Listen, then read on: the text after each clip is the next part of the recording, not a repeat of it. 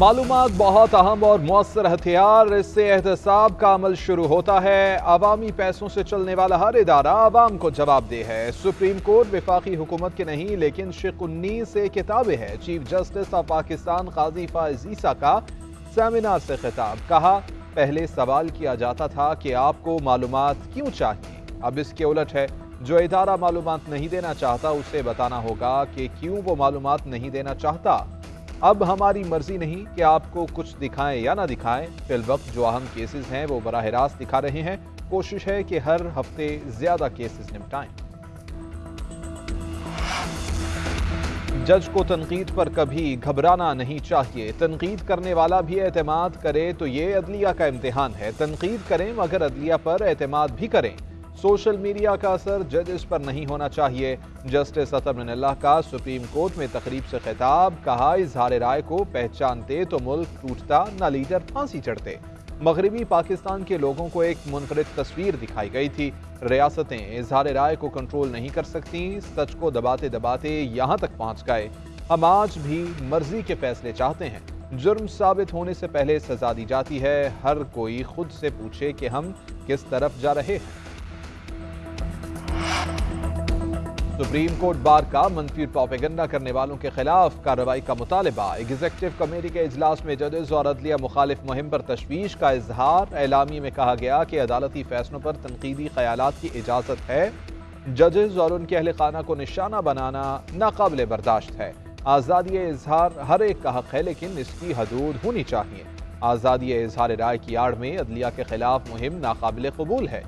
Supreme court bar کی ایران کی جانب سے پاکستان کی خود مختاری پر حملے کی بھی مذمت۔ مسلح افواج کے جوابی رد عمل کو سراہا گیا۔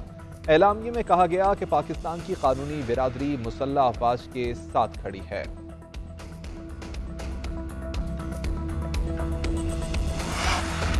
سویلینز کے فوجی عدالتوں میں ٹرائل کا معاملہ، لاہور بار نے انٹرا کورٹ اپیلوں میں فریق بننے کے لیے سپریم کورٹ میں درخواست دائر کر دی۔ درخواست میں کہا گیا کہ انٹرا کورٹ اپیلوں میں عوامی مفاد اور بنیادی حقوق کا ایشو زیر سماعت ہے۔ ایسے مقدمات میں سپریم کورٹ پہلے ہی وکلا تنظیموں کو نمائندگی کا حق دے چکی۔ سپریم کورٹ لاہور بار کو مقدمے میں فریق بننے کی اجازت دے۔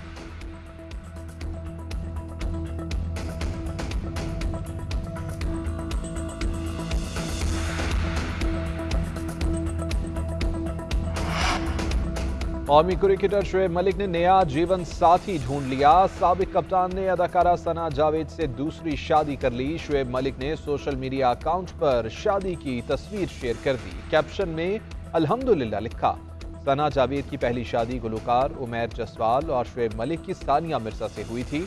ذرائع کے مطابق، شعیب اور ثانیہ کی ملاقات نجو ٹی وی کے ایک پروگرام کے سچ پر ہوئی تھی۔ گزشتہ سال شعیب ملک نے انسٹاگرام پر سنا جاوید کو سالگرہ کی مبارکباد بھی دی۔ نومبر میں سنا اور عمیر کے درمیان علیحدگی کی خبریں آئیں۔ دونوں نے سوشل میڈیا پیجز سے ایک دوسرے کی تصاویر ڈیلیٹ کر دی تھی پیبلز پارٹی کا کوٹدو میں سیاسی پاور شو۔ بلاول بھٹو جلسہ گاہ پہنچ گئے۔ میونسپل سٹیڈیم میں پارٹی پرچموں کی بہار، جیالوں کی بڑی تعداد، پنڈال میں موجود چیئرمین پیبلز پارٹی کا کہنا ہے کہ ایک شخص کے ہاتھوں دو بار بے وقوف بننا شرمناک ہوگا۔ ہم آزاد اراکین کے ساتھ مل کر حکومت بنائیں گے۔ بلاول بھٹو کل لاہور کا انتخابی محاذ سنبھالیں گے۔ ٹاؤن شپ کرکٹ گراؤنڈ میں جلسے کی تیاریاں جاری۔ جیالوں نے آج ہی جلسہ گاہ میں ڈیرے ڈال لیے۔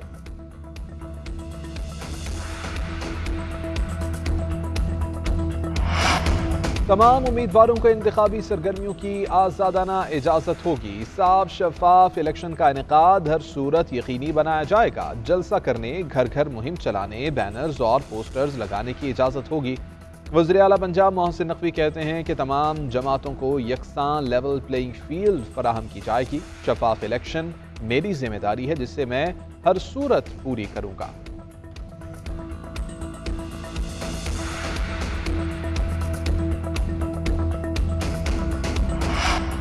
رمہ مالی سال معاشی ترقی کی شرح نمو دو فیصد رہنے کا امکان۔ زر مبادلہ کے ذخائر ساڑھے چار سے بڑھ کر آٹھ آشاریہ دو ارب ڈالرز ہو گئے۔ آئی ایم ایف نے پاکستان کی معیشت پر رپورٹ جاری کر دی۔ جولائی سے معیشت کی سم درست جانب کامسن ہے۔ توانائی شعبے میں اصلاحات کی ضرورت پر زور۔ مئی میں مہنگائی کی شرح چھتیس اور اکتوبر میں چھبیس فیصد ریکارڈ کی گئی۔ بے روزگاری کی شرح آٹھ فیصد تک رہنے کا امکان ہے۔ آئی ایم ایف نے ٹیکس اور نان ٹیکس آمدن بڑھنا خوشائن قرار دے دیا۔